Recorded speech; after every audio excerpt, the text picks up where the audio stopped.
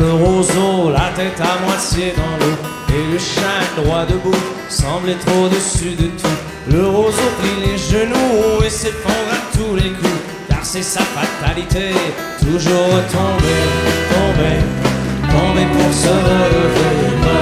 Tomber, tomber pour se relever. Même si le chêne est géant, il fendra dans l'ouragan. Moi, roseau par mauvais temps, je danse avec le vent.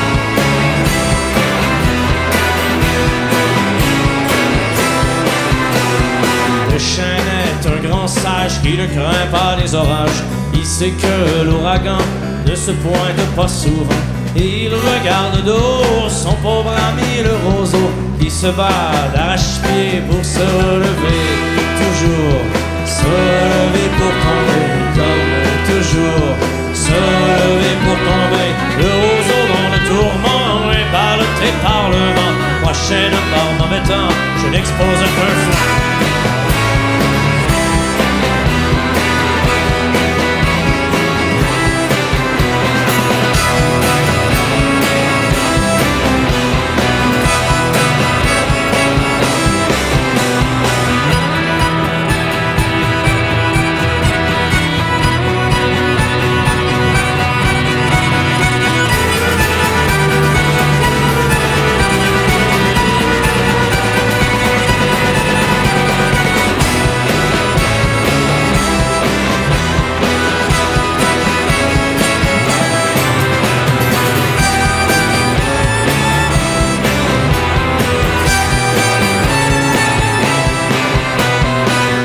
pas de morale à cette histoire banale que les individus et différents points de vue pour se consoler un brin, on rabaisse le voisin. Il faut bien se relever avant de tomber, tomber, tomber.